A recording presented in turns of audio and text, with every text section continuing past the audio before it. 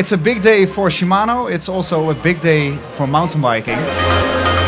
What is XTR Di2?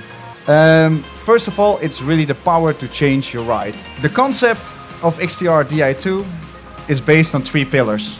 It's based on powerful shifting, smart intuitive operation, and a clean appearance and system expansion. It was a big honor to, to be part of this uh, development, to take part of this story. And now I'm riding uh, this bike with a definitive product and I'm really exciting to race on Sunday with it.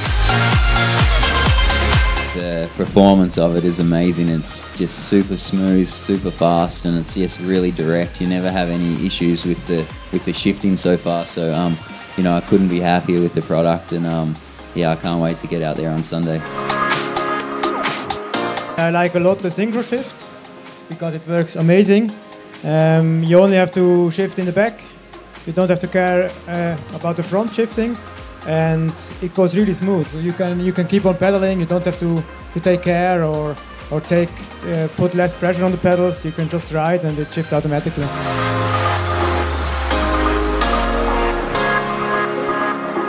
When you try it, you don't want to change for, for the mechanical, so I think it's that's the future.